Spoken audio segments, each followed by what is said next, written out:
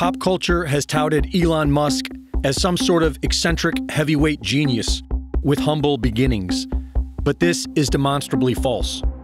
Elon Musk was born in South Africa, where he claims he grew up extremely poor, but his family owned an emerald mine.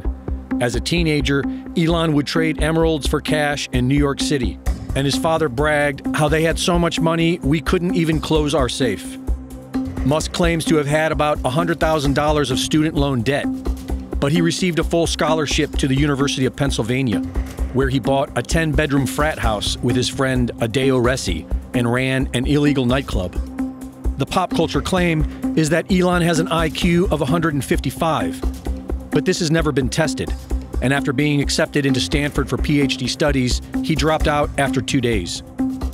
After dropping out, Elon began his first business venture with his brother Kimball, Zip2, which was essentially a digital version of the Yellow Pages. The brothers received tens of thousands of dollars from their parents, and yet Elon denies this.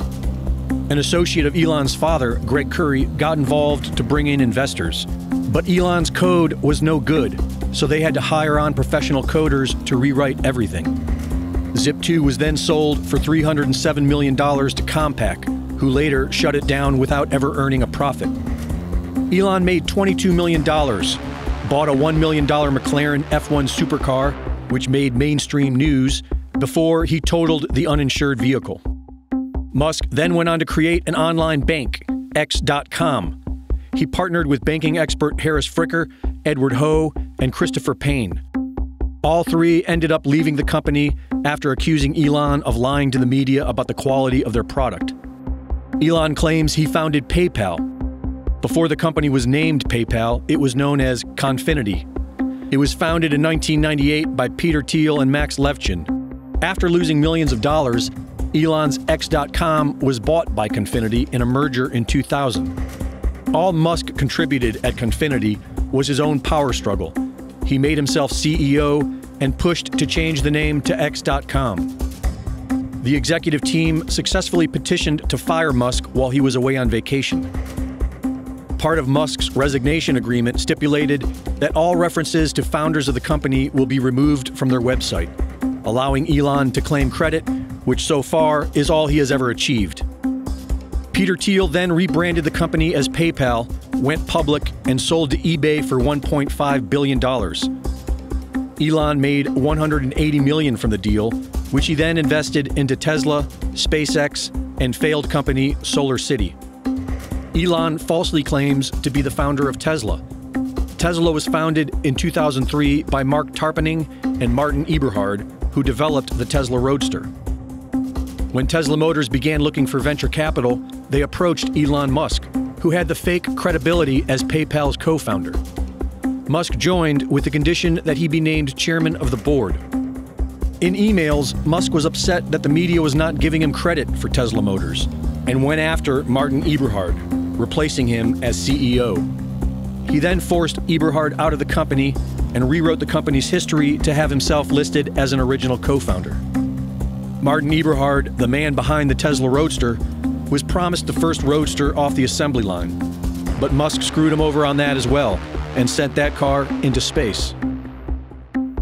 You can tell it's real because it looks so fake, honestly. so, who is Elon Musk? Elon describes his father as being an evil, abusive man. His father, Errol Musk, has been accused of being a pedophile and fathered a child with his stepdaughter, who is 42 years younger than him. This spoiled, narcissistic failure, son of accused pedophile, wants to put computer chips in everyone's brain so that we can merge with artificial intelligence. His girlfriend is now bragging how this could all lead to a communist utopia. And strangely enough, former Nazi and head of NASA, Wernher von Braun, predicted a man named Elon would conquer Mars in a 1952 novel that he wrote. Which is odd, because NASA has partnered with Elon's SpaceX to work towards colonizing Mars. Elon Musk, like everything else in today's modern society, is a fraud a fake genius, just like fake philanthropist Bill Gates and his fake vaccines. Brought to you by the fake news.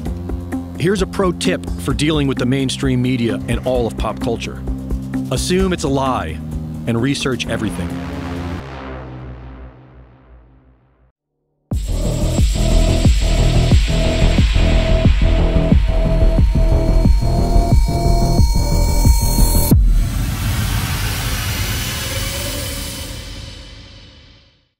Thank you for watching.